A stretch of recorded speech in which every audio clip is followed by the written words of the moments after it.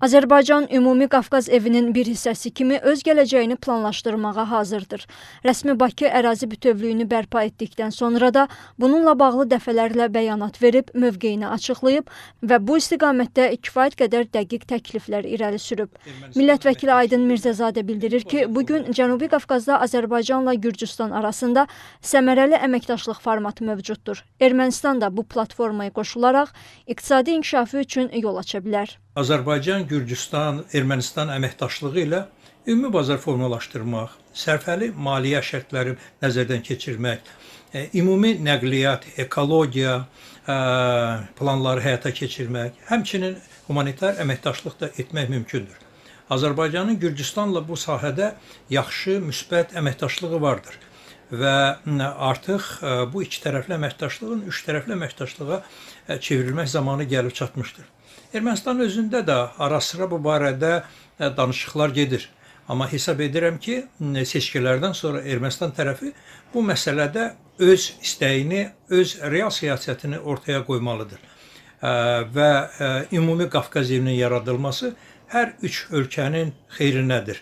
Və bu məsələdə Azərbaycan tərəfi öz əməkdaşlığını, öz imkanlarını, mehriban qonşuluq təkliflərini artıq dəfələrlə səsləndiribdir.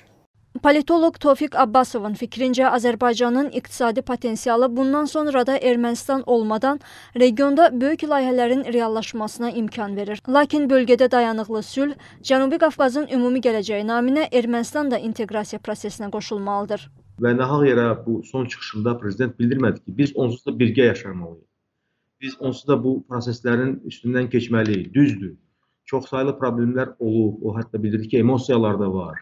Yəni qanlar tökülüb və s. Ancaq buna baxmayaraq bütün müharibələrin sonunda artıq insanlar masa arxasına gəlirlər, onlar danışıqlara başlayırlar, təmaslar qururlar ki, bir daha o keşməkeşli dövr, sonra itkilərlə bağlı mücadilələr meydana gəlməsin. Yəni Azərbaycan bu prosesin bütün məsuliyyətini dərk edərək anlayır, bilir ki, əgər biz Ermənistanın iştirakı olmadan son illər ərzində belə vacib, möhtəşəm layihələrin həyata keçməsini təmin edə bilmişiksə, Bundan sonra da Ermənistan əgər istəməsə özü bilər. Amma biz Ermənistana həm də şans veririk. Çünki bu ölkə uzun illər boyu hərbi xuntanın əsarəti altında idi. Ən çox inciyənlər də həm də Ermənistanın özünün xalqı idi, onun vətəndaşları idi.